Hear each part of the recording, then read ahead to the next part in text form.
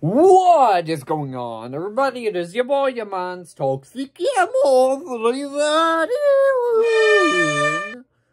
Back at it with another video. And yesterday, I ch checked out the new Netflix movie, Spaceman. And I'm bringing a review here today.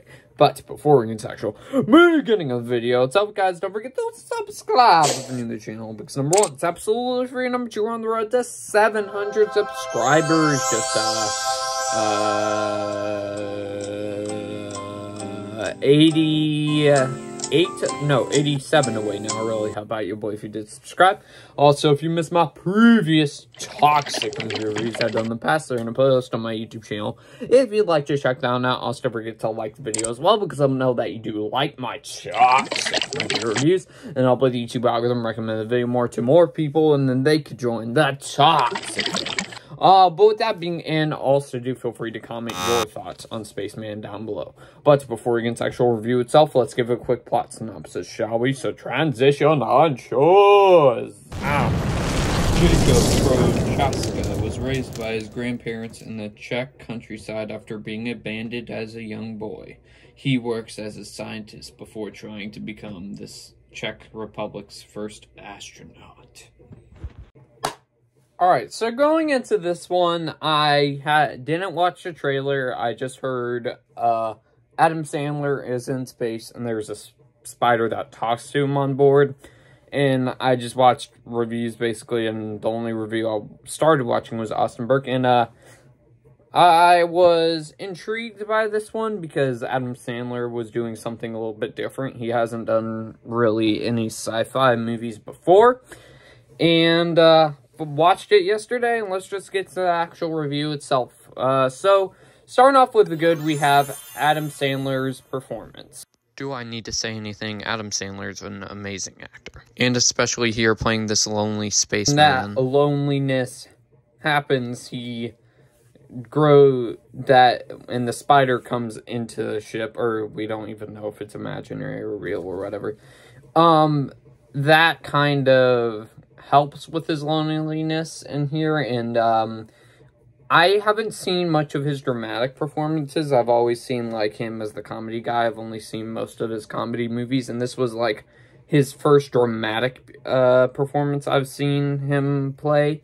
And I thought he was great in here. Um, uh, almost all the acting in here I thought was great, honestly. Um, and then with Adam Sandler's performance, we move on to, I think, probably the standout besides Adam Sandler, and that is Paul Dano as Hanush, which is the talking spider. Which I believe this is Paul Dano's first voice acting role, and he does a great job of being both creepy and also sympathetic at the same exact time, playing this creepy spider also making you theorize about him in the process. Where did he come from, and so forth.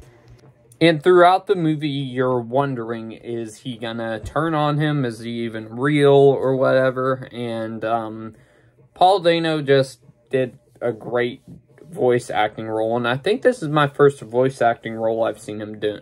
do, do that I've seen him do. Um, and uh, I think Paul Dano is definitely an up-and-coming actor, and this is another great performance by him. Uh, I loved him as Riddler, and I loved him in The Fableman, Fablesman, and I love him in this. I thought he was great as the Hanush. So, yeah.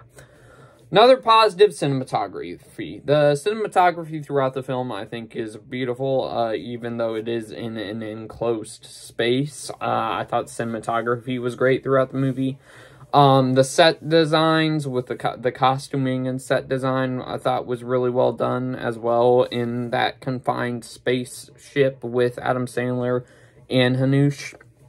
Um, and also the costumes are definitely space like spacesuits, so they did a good job with that. Um, another positive, the CGI for Hanush in space. I thought the CGI was actually really well done in here, and it actually kind of made the spider look real, honestly. It made Hanush look like it was actually real. and it was kind of freaky at the at first. So yeah. And then uh, final positive in here, the relationship between Adam Sandler and Hanush. Um, I thought that it took a while to get used to their relationship, but when it gets a little bit to a little bit later in the movie, you really start to connect with their relationship and you uh, really like their competing dynamics. So that's the good. Now we move on to the mixed. Uh, the characters besides Hanush. Uh, even though I said Adam Sandler does a phenomenal job with his performance in here, I don't know if I like the character. Uh, even though he does a phenomenal job acting in here. I don't know if I like the character that much. And then all the other characters, I wasn't that big a fan of. Um, uh, Adam Sandler's character's wife in here, I didn't really care for, to be honest with you, and all the other characters now on Earth, I didn't care for. Um, and the only really character I cared about and thought was a good character was Hanush. So that's it, really.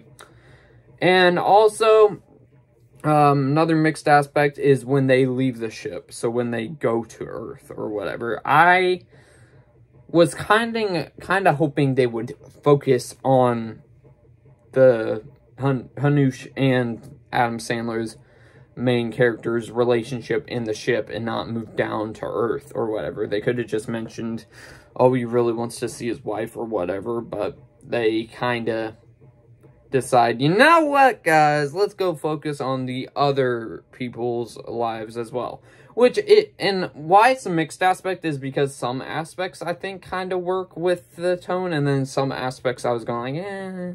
So it's 50-50 on that.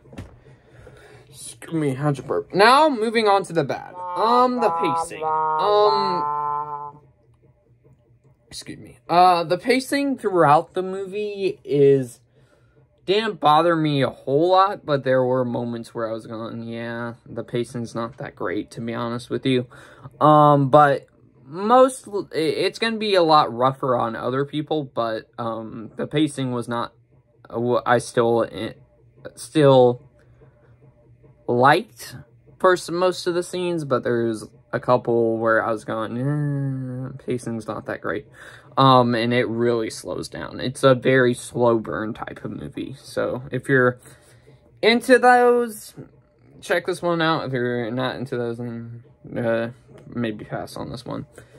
Another bad, they have flashback sequences in here. I won't go too in-depth because that would go into spoiler territory, but there's flashback sequences in here I didn't really care for, to be honest with you the bad, uh, uh, I mean, another one, the plot is nothing like the plot synopsis I just read a few minutes ago. It is nothing like that whatsoever.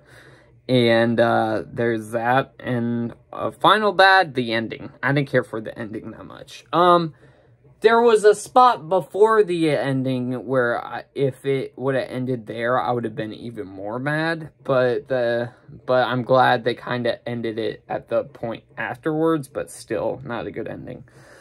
Uh, but otherwise, out of the, Netflix straight to Netflix projects or whatever, this is definitely one of the better like movies. So I would.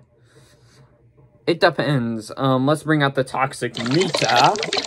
And I will give this uh in between toxic goodness yeah. and toxic disappointment. It's somewhere in there. Um and overall I'll give this I, I overall think I do like this movie. I do enjoy I enjoy watching it. So I'd give it a C plus. I, I I thought it was fun. I thought it was fun. I got some enjoyment out of it. So if you're into weird sci-fi movies, I would definitely recommend this one. And if you're not, if you don't want two weird movies, probably skip this one out.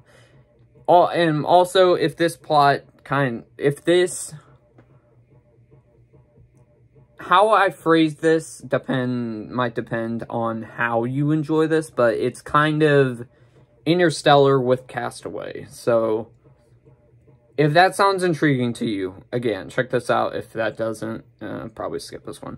Uh, but with that being said, guys, I hope you all enjoyed this toxic movie review.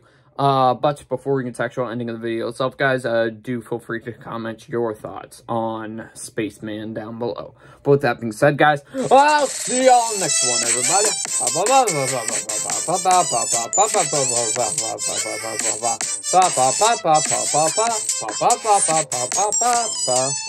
Peace out.